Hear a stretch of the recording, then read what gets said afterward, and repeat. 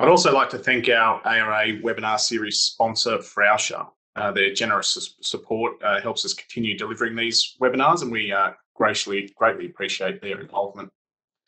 So we have a, a, great webinar for you this week titled The Future of Stations. Today, Malcolm Smith, the Australasian Cities Leader for Arup, will be sharing uh, with us themes and concepts that will shape the design, operation and experience of new and existing as, uh, station assets into the future. There will be some time for Q&A after Malcolm's presentation. So as always, please post your questions at any time via the questions pane in your control, uh, attendee control panel, which should be sitting there to the right of your screen.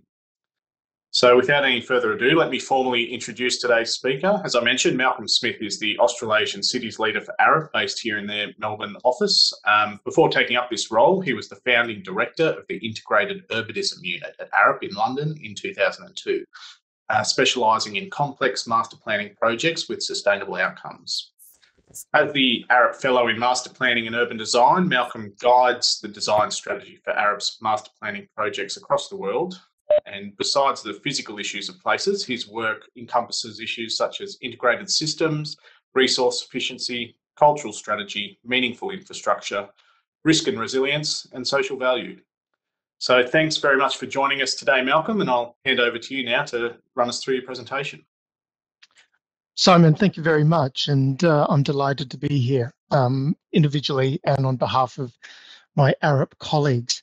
Um, look, today, you know, is a little bit of a kind of a, you know, suspend suspend the present and imagine the future. And I guess as a as a as someone who is involved in city scale projects, that's what we always try to do. We almost have to do. You know, we are designing into a future and our and our railway infrastructures and our stations both need to kind of, you know, imagine that future that they're going to work into married with the realities and the challenges and the complexity of, of, of what is in front of us every day as we make these critical pieces of our, our physical and our social infrastructure. Where do we come to when we, we from future of stations? Well, a little part of um, Arup is we have an Arup University and we have a foresight team that helps us kind of imagine these, these futures. And so the future of stations is a piece of work that we've been doing around the railway businesses around the world. Um, and a key contributor is Anna Squires, who is the, the Australasian rail leader based in Sydney office. And so thinking and asking ourselves a series of questions, almost more than kind of conclusions about what is the future of stations. And I thought that, you know, the interesting part to kind of start with is this interesting quote that we found from Goethe, where, where he says, one does not one does not travel to arrive, but to journey. And I we reflected on that a little bit and we thought, well, what journey? You know, when are we journeying? Who is journeying? You know, and I think if anything, kind of COVID has kind of fundamentally shown that the way in which we use all our infrastructures, let alone the kind of our rail and our station networks, is changing has changed dramatically. We use it at different times of the day. We are changing the, you know, the the access of populations. We will, I think, continue to see a different intensity of uses, distribution of people using it, expectations of how to use it. And so it is a, it's possibly a good time once it's kind of seen this disruption of COVID to ask what is the future of the station. So I, I wanted to guide us through three things today some of the future thoughts that we've developed in our Future of Stations booklet. But I wanted to share with you two other things from different viewpoints. One is from an operator, and one is from someone who provides rolling stock. You know the the the, the you know the the uh, the assets that roll in and out of our our stations, and see whether these three things pull together some interesting considerations for us all to discuss. But that notion of what is a journey, and who and what and when, really raise the question of how do we get this kind of breadth of analysis of what we're looking at. And so, you know, we we ha- we have a kind of a tested process of using effectively a steep, you know, social, technical, economic environment and political framework to begin to test the breadth of issues that could, you know, be asked of a station of the future. You know, some of the technical issues of the way in which we are integrating integrating our our digital systems, whether that's you know the, the way in which a station operates or the way in which users interface. Economic issues of ownership, control, relationship to business cases, you know, long-term viability, environment, the issues of, you know, how we are interfacing it, challenges of carbon and, and, and emissions that are coming, air quality that are coming over the horizon, political, you know, the ability to, to understand how these things are kind of funded across sectors and the like, or some of the increasingly social expectations. And I think the social is a particularly relevant thing that we found. So look, let's let's jump through some of this and see see whether there's some some pictures that we can start to see. There were six principles that began to kind of percolate to the top as we started to look through the STEEP framework. And so they set the framework for the way in which we looked at the stations of the future. The first one, there seemed to be this increasing notion of porosity in the boundary of what was the station. You know, there has to be obviously kind of legal asset controls and safety and security and thresholds that are done. But certainly, you know, the digital infrastructure was beginning to kind of deconstruct that boundary and make it much more porous, certainly from a user point of view. And we'll say, I'll say a little bit more about that later. You know, the notion of when one is entering and exiting, you know, the, the, the traditional station edge is becoming certainly much, you know, much more uh, porous and agile. Look, I think the second thing that we're starting to see is just that kind of increased diversity beyond the core and fundamental, and I would say consistent need of trans of, of station as a, as a mode of transport. You know, the way in which they operate over increasingly, you know, as we work longer, as we increase our leisure time, the way in which we experience life and engage, meant that this diversity demand was increasing, you know, and the image of, of the King's Cross um, ticket hall is, is a clear example of that. But I think it's going even further. What is its kind of contribution, the station of kind of connectivity and accessibility to this beyond just a transport need? Um, I'm just going to try and there we go, click through. So um, we often talk about an integrated system. You know, modes should be integrated. You know, but not just accommodated. I think sometimes we kind of uh, and, and, and, and, you know the, the process of bringing this together drives this you know modes are placed next to each other increasingly we are seeing them you know in a much more fundamentally integrated way and it's not just the physicality of this integration that we're starting to see, the way in which different operators, you know, are, are much more seamlessly working together to create that journey that asked the question at the beginning. That seamlessness is becoming much more paramount, but it produces some significant challenges in the way in which you struck those and deliver those into reality. Um, I guess there is a question of the who question. Who are the who are the users and the experiences as the outcome. It was very interesting doing some work in in um, in Japan and Germany, where we're seeing a kind of an increasing aging of our communities. How do we begin to understand the excellence of experience across this broadening, you know, range of not only age, but you know, varying ways of interfacing with the station environment?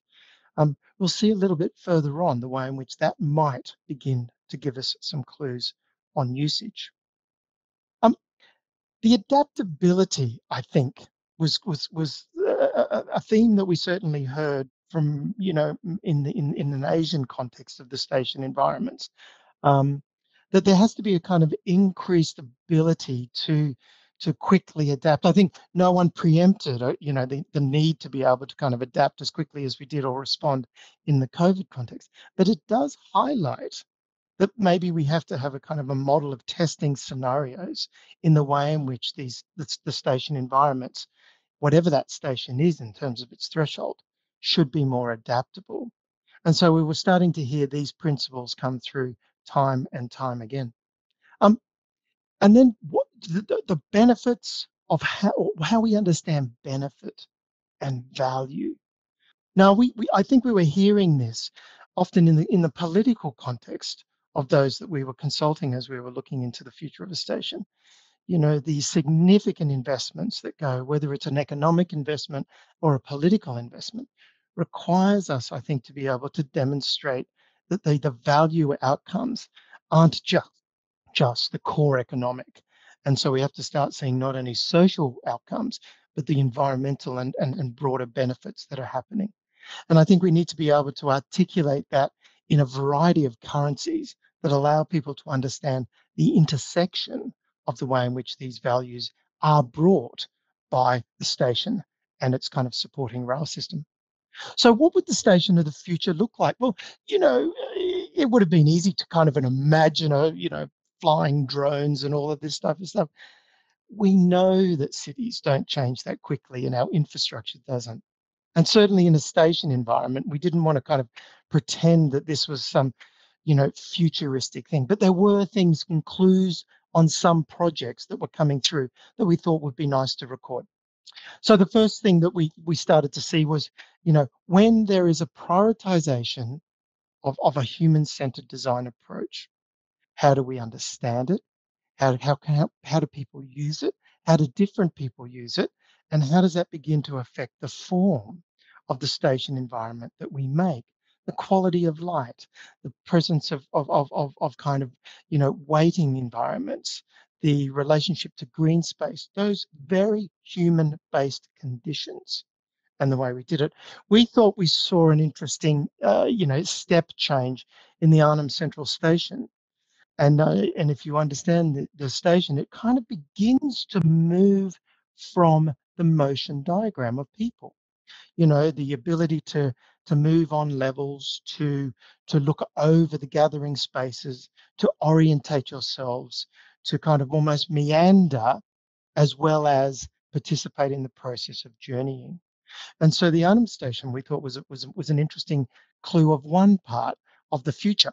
Um, using a digital experience. Well, I, I, I think you know the one thing that we know about you know working in cities and station environments of digital is that what we're doing today is different tomorrow.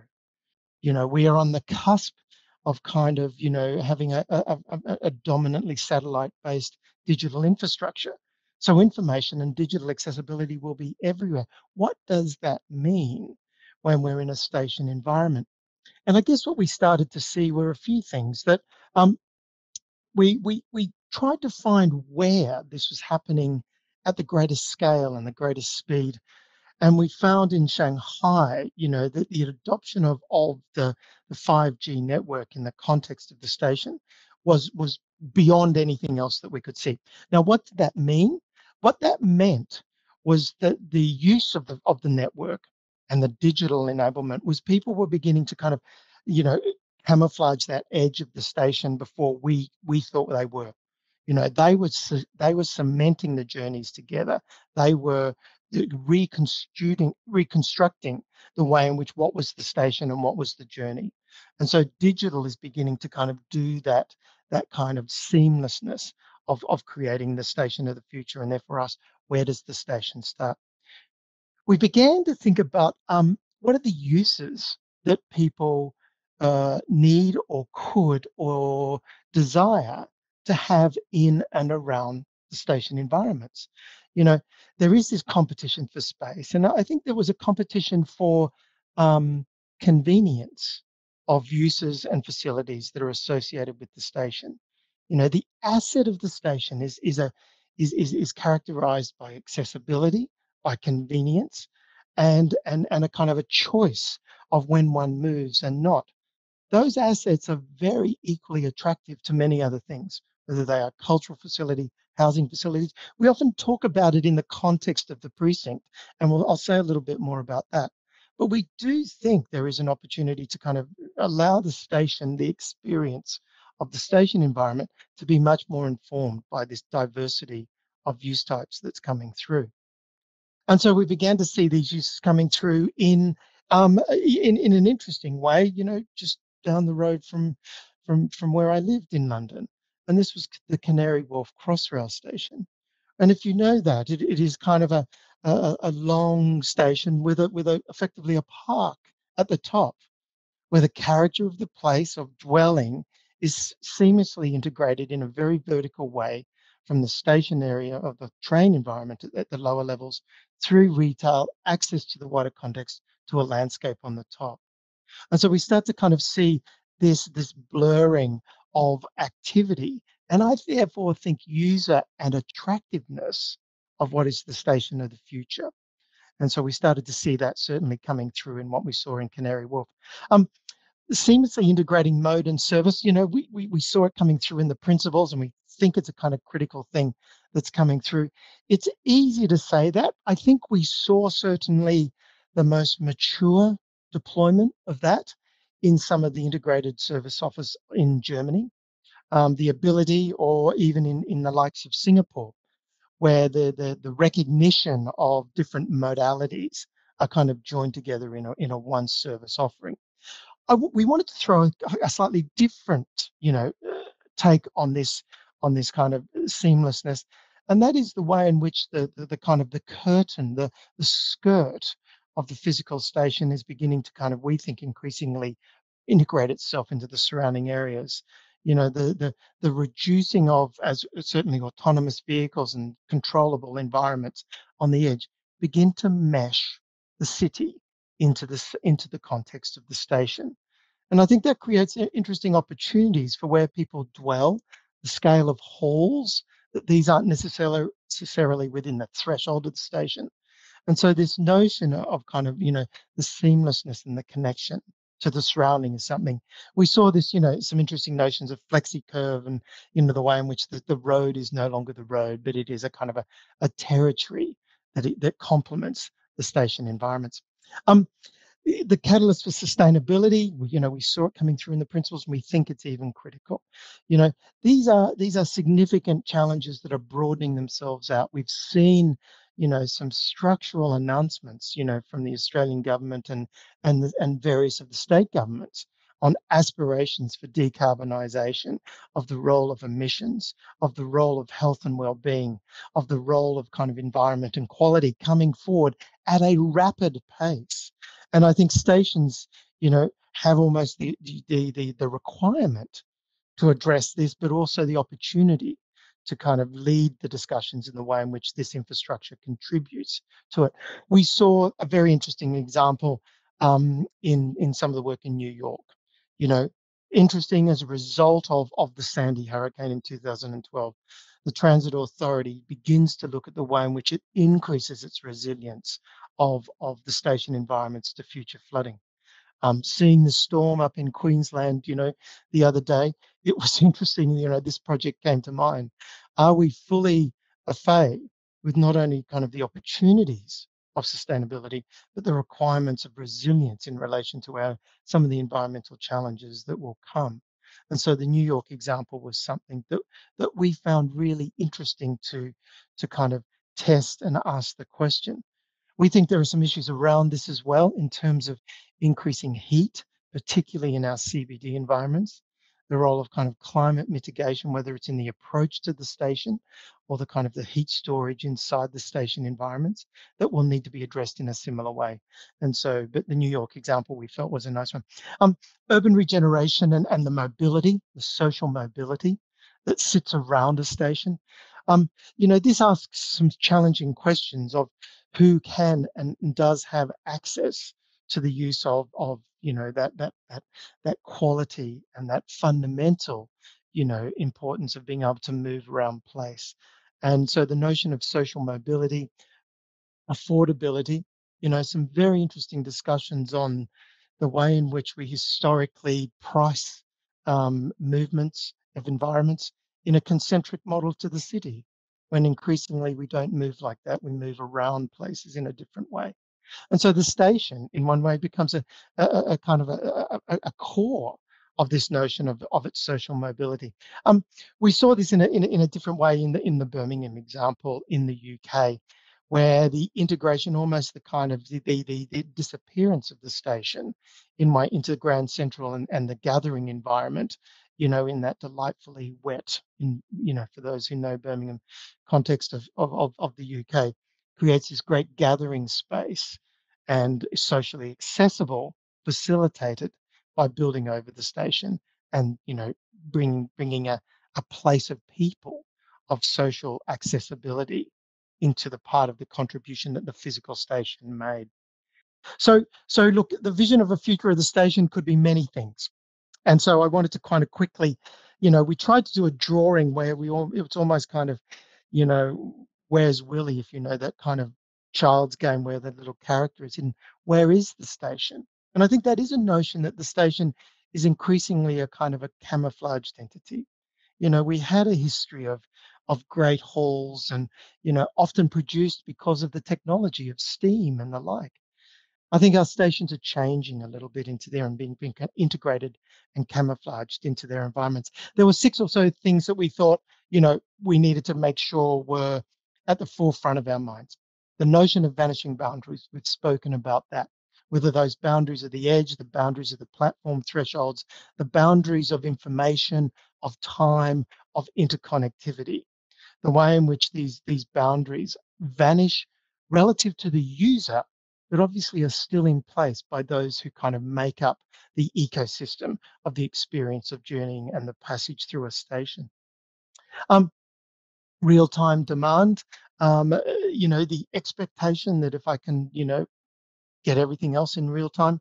Am I getting the experience of the station and the movement systems in equal real time? I think we're moving well towards this and people are starting to understand how to deliver that. But I think we're equally understanding that, that, that it's still in some areas slightly fragmented in the ability of, of this information and the expectation. And, and you know, retreating back to that notion of the, the human experience, the customer experience, of being able to kind of understand and make choice with the information of real time you know demand i think is a critical thing for the future experience and outcome of the station.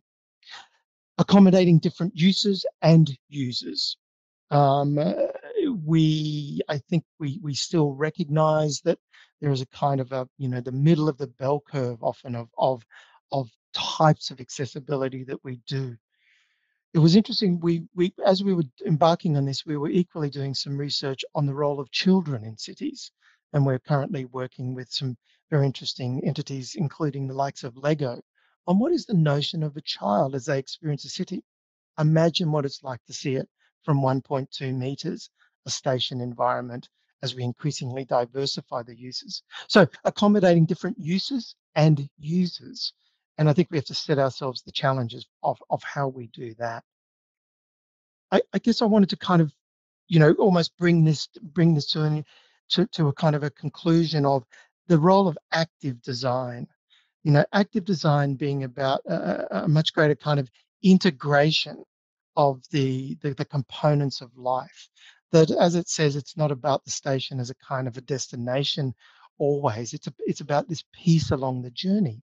And as we see in the Crossrail station in London with its garden on the top, as we see increasingly, certainly in some of the Dutch stations, you know, the integration of activities, of sporting events, of kind of cultural events that are kind of knitting themselves together, that active design and the station experience is complementary to the other experiences and choices of life that can be facilitated around the physical station.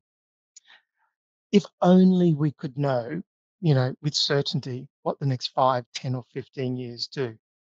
I think what we, the, the, the value of a station is there is the fixed infrastructure of the rail and the operational systems that go with it. Some of the spaces that kind of wrap around it, we think, uh, uh, you know, can have an agility towards them, can have an adaptability, but it needs careful consideration of some of the you know technical constraints, whether it's fire, security, movement systems, that, that allow these spaces to evolve over time. If we can get that agility into some of the complementary spaces around this, you know, that, that, that, that sit in concert with the core station environments, we think that that that gives us a kind of a, a vision of the future of some of the way in which the station is experienced and it's and is taken forward.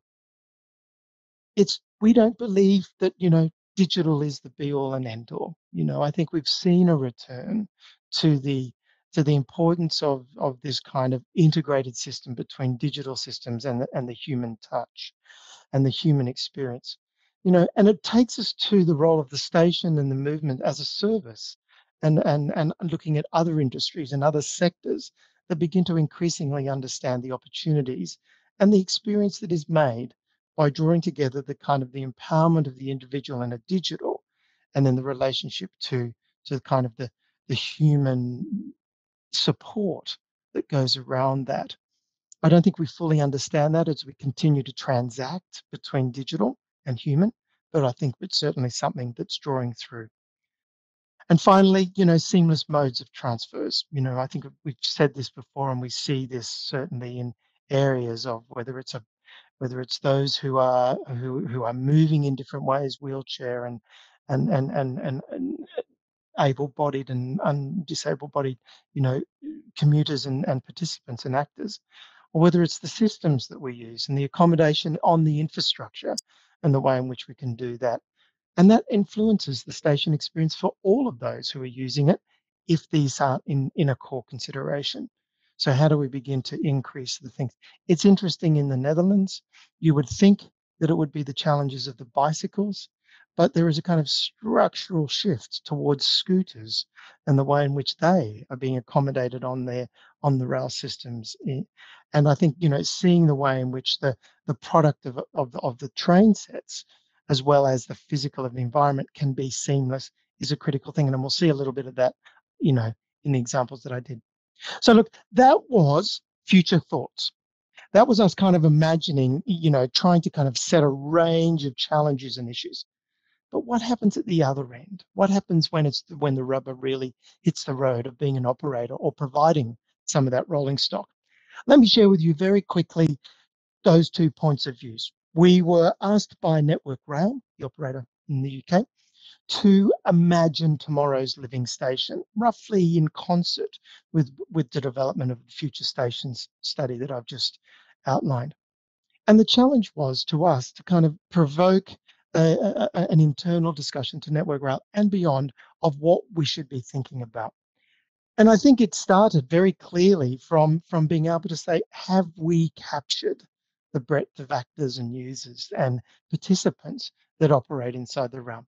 So, you know, the, the notion of starting with people focus and, and, and being able to kind of articulate need, desire, anxiety, and risk in a very human focused way was critical to the message that Network Rail wanted to develop. There were three things that came up. Firstly, and I think very importantly, station is the center of movement of people. You know, this is its this is its DNA, this is its essence, you know, and, and, and one cannot forget that and get, you know, distracted from this as, you know, you know, going away and coming back safely, clearly, efficiently is it the, is it at the heart of it. There were two or three thoughts that we had and you know we certainly talked about you know personalized movement in this in this system of moving we talked about you know more choices and, and the interchange but it was certainly about the notion of partnership and collaboration for what is that journey? How are we bringing together those with mutual interest and benefit for this, you know, you know, door-to-door journey experience that came through? The second one was a bit different. The second one where Network Rail kind of said was we, you know, build it and they will come, or, you know, build it in response to demand. And in, in, in, a, in a kind of higher level agenda, of you know they talk about the leveling up agenda in the UK of distributing equity, distributing prosperity across the country. You know, the role of the station in supporting inclusive growth, in being able to demonstrate that it's not only a kind of a, a parameter of time and travel, but it's a parameter of social inclusion and growth and prosperity. What does that mean? It can mean many things, and we don't have the time to do to talk about it today. But what effectively it talks about, you know, is is broadening the, the, the offer of the needs of community and neighborhood that the station environment that as I said earlier is about accessibility can actually provide as well. And we think that was a, you know, that that that in concert with being able to partner with people who provide the services creates a kind of different patina of the way in which the station can be seen, used, experienced, and, and taken forward.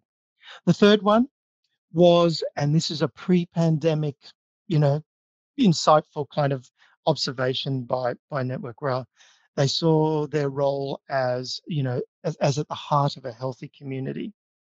And, and health can be defined in many ways.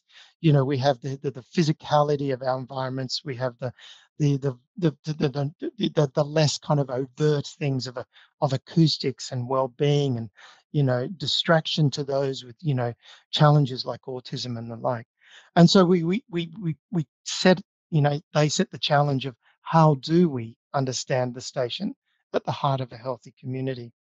And i think one of the issues that came came clear was weaving all of this together was the role of the context in which the station sat a network of station and public spaces that as we are digitally enabled and we can make choices become a kind of a that that that that, that net into which the station operates where footfall begins to aggregate and the experience of the users isn't at the threshold of a ticket barrier if when and if they still exist but it's the experience when they decide to move and journey and so the network of public spaces and particularly, you know, some of the other issues of the way in which we we address some of the other challenges of air quality and the like.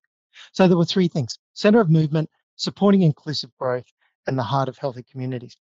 The final thing I wanted to share with you very quickly is coming from the other other side of those, you know, who have to provide and are, are tasked to to provide us with state of the art rolling stock.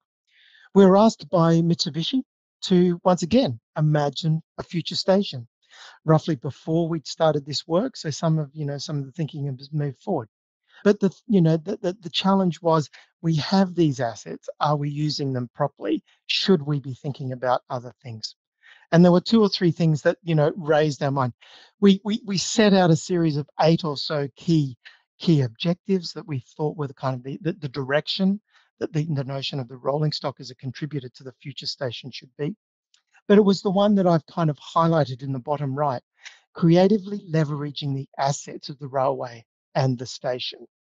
You know, the station does have assets of the accessibility of kind of of, of security, of, of, of kind of a contribution to the community that is of interest to others. And so that's where we began to develop the idea. In order to do that, we set it in a slightly different context. We almost kind of zoomed in and out of scale. The station in its own right the station in a, in a context and the station in a network. You know, the, this kind of characteristics of the asset of the station in its wider infrastructure context. We effectively developed, as you saw in the previous slide, and I've just drawn it back, you know, there were 18 or so interesting projects or, or provocations of the way in which the station and the network could many could contribute. Just two or three that maybe are relevant here. Um, the network as as a kind of uh, a, a, contributor to a diverse use of the station. And here we drew out modular train. Um, if only we were kind of aware and being able to kind of imagine and watch the way in which the TGVs in France were repurposed as hospitals, you know, in their COVID context. You know, a health infrastructure moving around through a station, through a railway network with a station repurposed in a different way. Um, we were interested in, in one way, in the space below the railway asset and the station, and where the geology and, and, and the geotechnics is supported, could there be kind of capturing of help and heat, or in, in, in the case of Europe, the heat distributing it into surrounding communities? Assets of the kind of characteristics of this connectivity where the station is a pivot. Um, we looked at the context, you know, and there are many things about, you know, TODs and development and zones.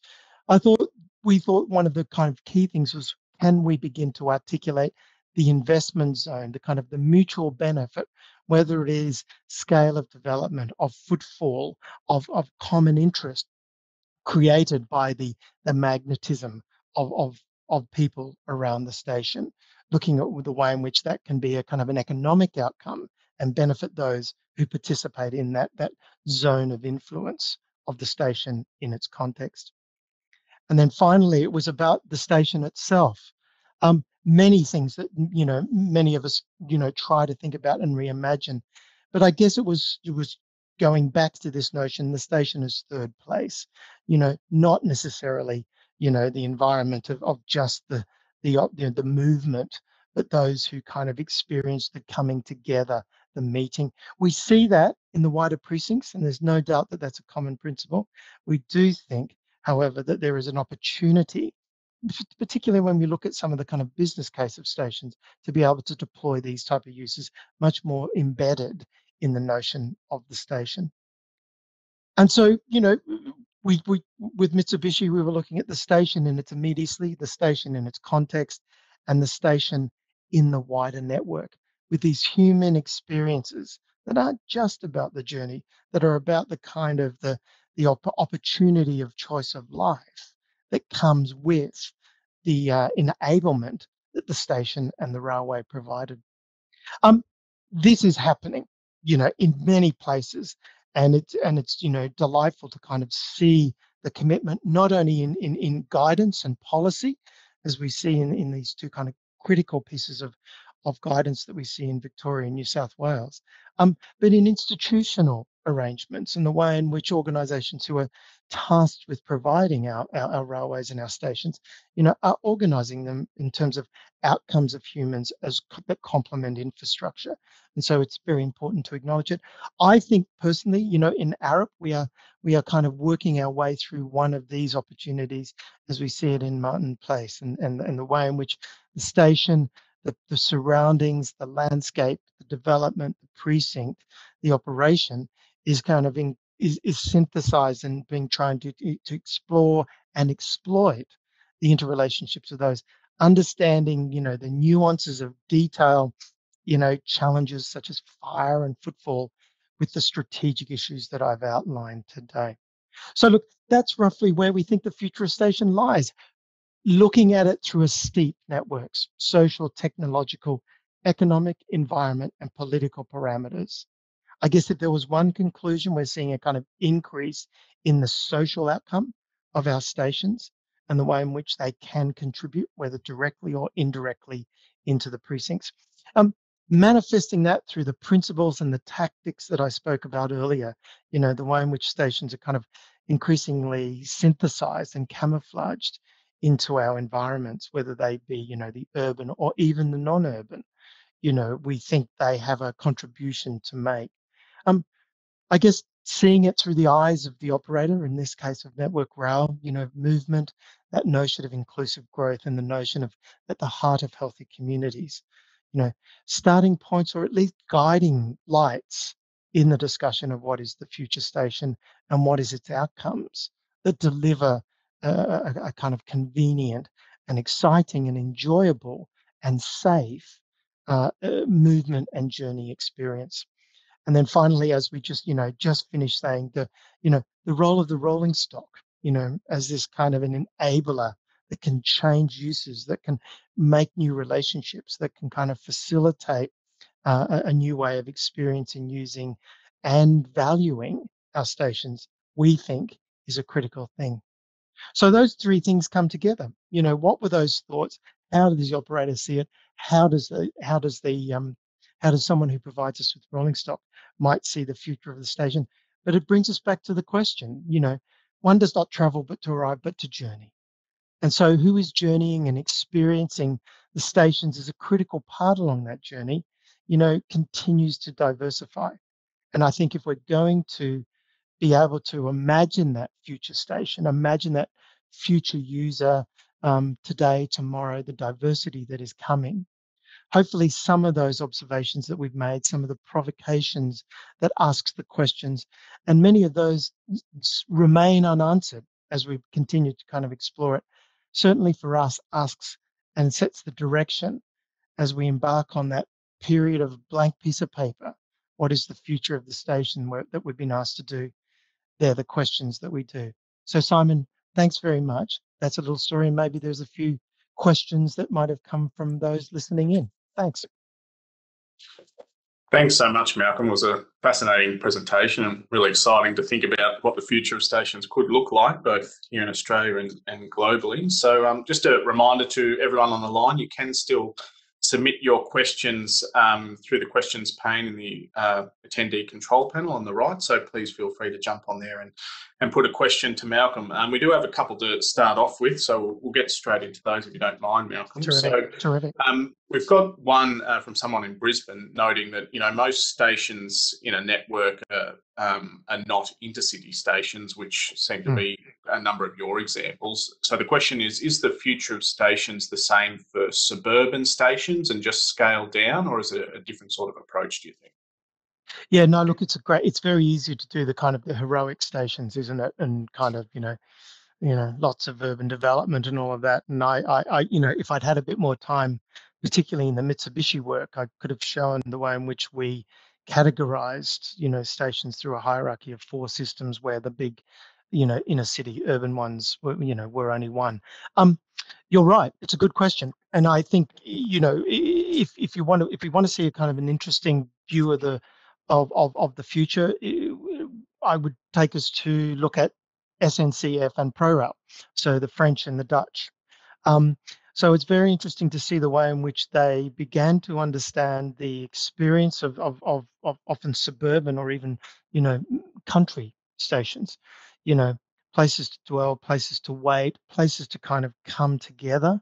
Um, it was interesting, you know, and and um, and the Dutch looking at the way in which uh, facilities, localized producers of um, produce providers or you know or, or, or other other providers local to communities are given space inside in, inside very small stations and so they are recognizing that the station kind of contributes to a very localized community and i think that's the way in which we we kind of need to uh, to, to, to think about it in another way but it goes back to the i think to the to the question that is constant, whether it's a kind of an inner city, you know, urban condition and through the whole hierarchy out to a rural condition. What are the what are the assets of the station that can be kind of repurposed without, you know, getting in the way of issues of or, or anyway uh, creating issues of security and things, all critical things when we're dealing with these type of things. You know, issues of you know the provision of services, the provision of covered space, the provision of lighting, you know, the provision of parking. All of these things are, are relatively redeployable into other uses. And so, you know, taking that that kind of redeployment of the assets of the station as we did as one of the core questions of the Mitsubishi work, and asking in a particular context, what could we do? Um, you know, eh, was where we were at, and then it was complemented by you know some of that ideas of maybe the rolling stock could become you know diversified. Is this the is this the frontier for a kind of a you know a traveling theatre, a traveling healthcare, um, traveling education, moving education, um, other types of kind of physical conditions that aren't required all the time in more more non-urban conditions that the station could contribute. So yes, a, a, really good question. But you know, the the I think the answer lies in can we repurpose, uh, not repurpose, or certainly leverage the assets of those scales of station. Yeah, great, and and that uh, kind of leads into another question we had around um, what sort of elements of this design do you see being really being able to be integrated into those existing stations um, as opposed to um, looking at you know a greenfield site? And but I think you've kind of covered off how yeah a little I hope, hope yeah hopefully hopefully Simon that did cover it. And and and I think that that's why it was really important to kind of share with you some of the thinking of the role of the rolling stock as a kind of a tool a device that could diversify and enrich the way in which we use the stations. So, um, but you know, at the end of the day, also, I would just say, you know, that the uh, while many of the things I've shared today will should and possibly unashamedly feel fairly high level, you know, the devil is in the detail of some of the technical challenge, whether it's a historically listed station, issues of fire and materiality or safety and all of those things. So it's kind of got to be a, you know, we've got to tackle it from both sides, particularly in an existing you know asset. Yeah, of course, of course. Um, we've just had another one come through. Um, I'll, I'll, just read it out. So, have you seen the electrification of bus fleets change the design of stations, given the ability to integrate more fully with the station environment? Um, I, I, I, I can't say I have. That doesn't mean it, it it's not happening. Um, I think I think the issue where I saw more uh, fundamental, uh, and I think the reason for that is I'll, I'll I'll kind of declare it. I don't think I see, I, you know, from my time, you know, overseas, as much of the electrification of the of, of, of the bus services as as maybe as I'm I'm starting to learn in in in the Asian Australasian context. Um, but I do think you know where that integration happens is some of the stories of those arrival spaces that people experience and the, and the way in which the the mode systems come up to and use public realm as the territory of interchange. You know, I think too often we've had there's the bus station, there's the bikes, there's the taxis, there's that. And I think we're increasingly able to, for a variety of technical advancements, be able to kind of aggregate that. And we certainly see that. If you want to see an example of that, have a look at the um, the Zuid station in Amsterdam, the southern Amsterdam area, where the the two big pieces of public realm either side of the station, you literally come out of the station and you're into a park or you're into the square. There's 40,000 car, um, 40,000 car parking, bicycle parking spaces below, you know, the tram system and is and metro systems are kind of weaving themselves through each other. You know, that that's where I started to see the synthesis. I assumed that, and it's very reasonable to think, you know, the electrification electrification of buses contributes to that as well. Sure. Um, another one that uh, I've been thinking about is has there been, I mean, obviously, as a result of the pandemic, we've seen a lot of um, social distancing measures come into place, particularly at a number of stations here in Australia. Are you, are you seeing any long term implications for the design of stations coming out of the issues we've been dealing with through the pandemic? Um, Simon, I think the thing that we are starting to see is is uh, you know at the end of the day there it's about kind of controlling flows. It's a it's a it's a flow issue but it's also an issue of where aggregation happens. You know where do people gather? You know we could we could have a look at an image from the 1850s of people looking up at a signboard in a station you know all next to each other because that was the point of information we are now liberated from that and so people can almost self police where they wait in what density relative to how they get there. And therefore, the, to go back to your question, that's the point I, uh, we were making about, you know, a, a contribution to a healthy community. I think it's the context, often the public realms, the gathering spaces beyond, because we are liberated from, you know, a, a, a flickering notice board above there and walk to platform four that we can make a choice and we can be further away and distributed. I think we're starting to see that a lot more. And I think, you know, and the reason why that I think is not only a COVID issue, it's a value issue, it's an urban issue, it's a kind of accessibility issue. People who take longer to to to move towards stations can be making their own choices. Those who can stand back and stay back and make choices in a different way, I think we will see. So not possible, certainly in some of the kind of you know issues of materiality and those things inside the stations, absolutely. But in the more structural ideas, I think it's the context and the gathering spaces around them. Yeah, sure. No, thank you for that.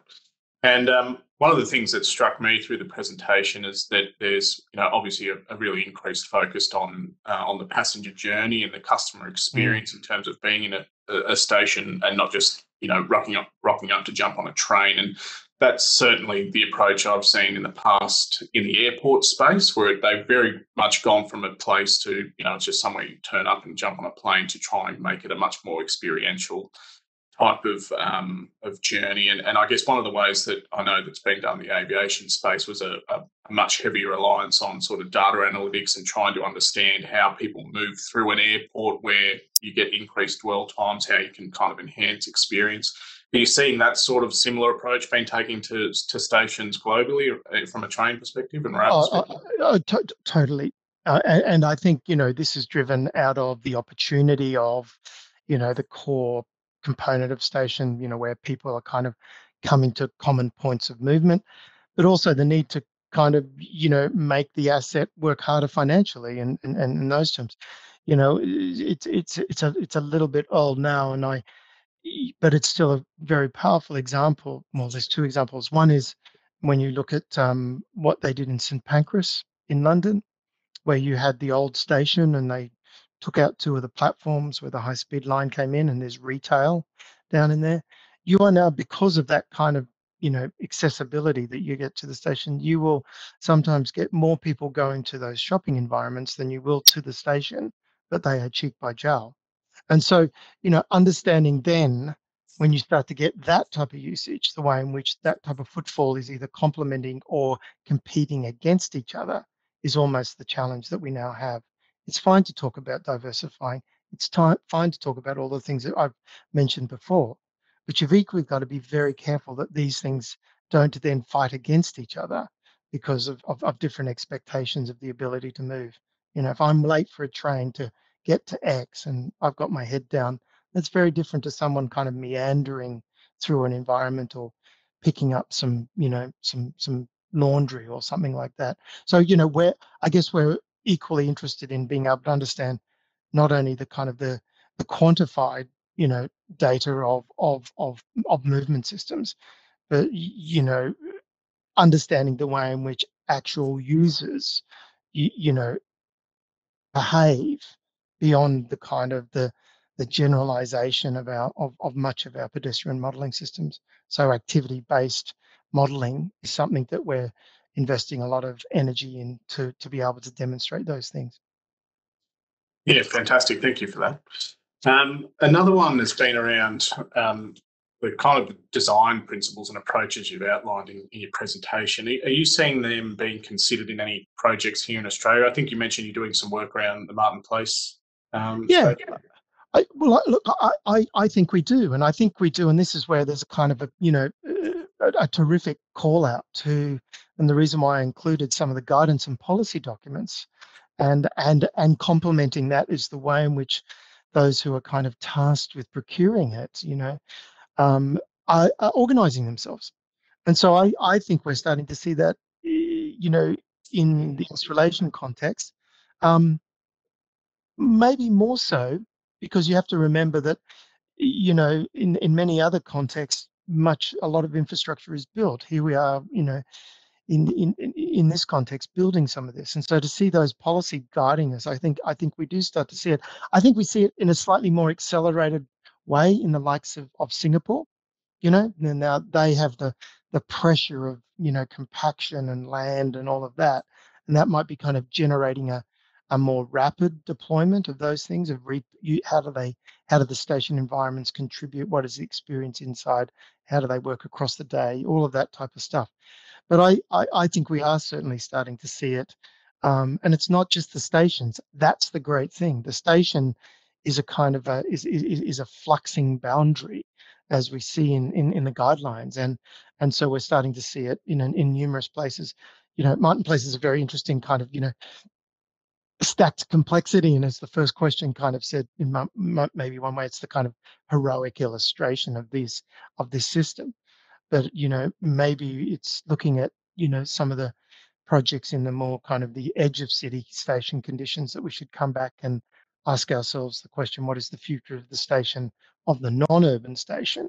And maybe focus on that because i think that's where we are seeing some of that as we see this kind of movement of people you know to to to different lifestyles and it's it, we're going to see our stations used in a different way so certainly seeing it coming coming through yeah, fantastic. Um, we are running short of time, but I'll just go with one more question, a little bit of a left field one. Um, in terms of the design and approach for, for future stations, are you seeing um, security being considered at all in that design concept? And I think it's probably just a bit of allusion to you know, obviously what we've seen happen in the aviation space over the last 20 years, and that's obviously a slightly different sort of threat environment. But are any of those sort of um, behavioural monitoring or, or security elements being considered in the design of, of future stations? Yeah, uh, Simon, I'm sure you know you, you know I'm going to say yes because you know uh, the vulnerability, you know the new the new vulnerabilities that we experience around our stations is you know, is is is continually changing. You know, and you know, those those who choose to make our try to make our our stations less secure are, uh, are creative and and and ever changing. So, but that being said, you know, there are new tools. You know, we could have spoken about the way in which uh, you know, the, the ability to, to, to use AI systems to monitor abnormal behavior without personalizing data is something that's very interesting. And we're, we're watching that, you know, it's, it's, it's incredibly interesting to watch, you know, those working in AI monitoring and the ability to kind of distinguish abnormality.